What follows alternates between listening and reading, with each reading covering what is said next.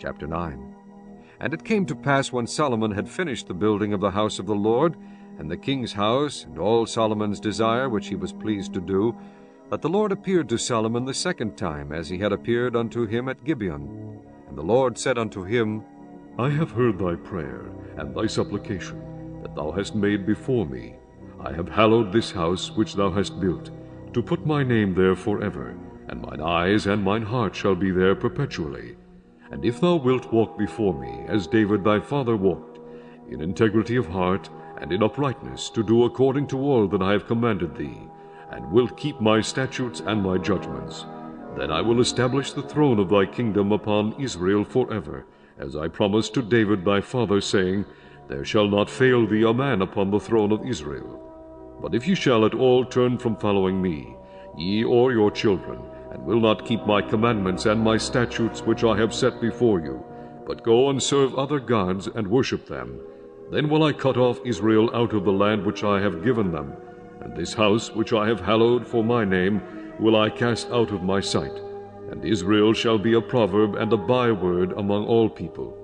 And at this house, which is high, every one that passeth by it shall be astonished, and shall hiss, and they shall say, Why hath the Lord done thus unto this land and to this house? And they shall answer, Because they forsook the Lord their God, who brought forth their fathers out of the land of Egypt, and have taken hold upon other gods, and have worshipped them and served them. Therefore hath the Lord brought upon them all this evil.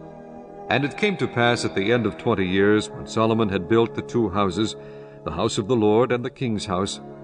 Now Hiram the king of Tyre had furnished Solomon with cedar trees and fir trees, and with gold according to all his desire, that then King Solomon gave Hiram twenty cities in the land of Galilee.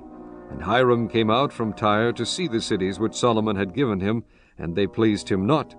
And he said, What cities are these which thou hast given me, my brother? And he called them the land of Cabul unto this day. And Hiram sent to the king sixscore talents of gold. And this is the reason of the levy which King Solomon raised, for to build the house of the Lord, and his own house, and Millo, and the wall of Jerusalem, and Hazor, and Megiddo, and Gezer. For Pharaoh king of Egypt had gone up and taken Gezer, and burnt it with fire, and slain the Canaanites that dwelt in the city, and given it for a present unto his daughter, Solomon's wife. And Solomon built Gezer, and Bethhoron the nether, and Baalath, and Tadmor in the wilderness in the land, and all the cities of store that Solomon had, and cities for his chariots, and cities for his horsemen, and that which Solomon desired to build in Jerusalem, and in Lebanon, and in all the land of his dominion. And all the people that were left of the Amorites, Hittites, Perizzites, Hivites, and Jebusites, which were not of the children of Israel, their children that were left after them in the land, whom the children of Israel also were not able utterly to destroy, upon those did Solomon levy a tribute of bond service unto this day. But of the children of Israel did Solomon make no bondmen, but they were men of war, and his servants, and his princes, and his captains, and rulers of his chariots, and his horsemen. These were the chief of the officers that were over Solomon's work, five hundred and fifty, which bare rule over the people that wrought in the work. But Pharaoh's daughter came up out of the city of David unto her house, which Solomon had built for her. Then did he build Millo. And three times in a year did Solomon offer burnt offerings and peace offerings upon the altar which he built unto the Lord, and he burnt incense upon the altar that was before the Lord. So he finished the house.